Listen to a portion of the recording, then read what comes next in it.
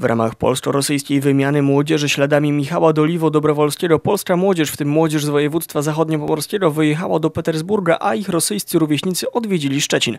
Na początku tygodnia goście spotkali się z reprezentantami województwa zachodniopomorskiego.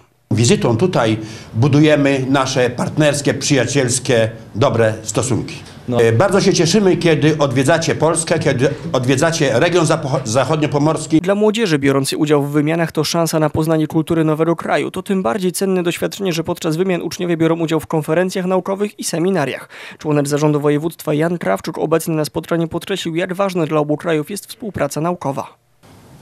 Jesteśmy prawie sąsiadami.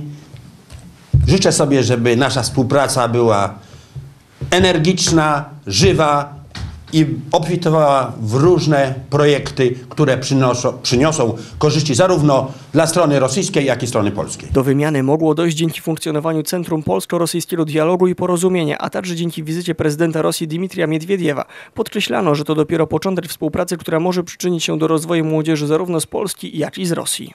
No, przede wszystkim chcielibyśmy, żeby inicjatorem tych kontaktów była mm, młodzież.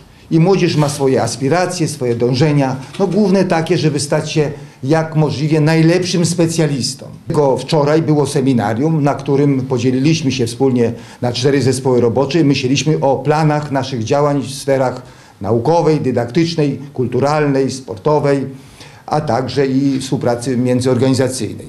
Przedstawiciele inicjatywy podziękowali za zaangażowanie zarządowi województwa zachodniopomorskiego. Ogromnie cieszymy się, panie marszałku, że e, w tej inicjatywie możemy liczyć na poparcie naszych władz regionalnych. 17-osobowa grupa młodzieży z Petersburga wyjechała we wtorkowy wieczór.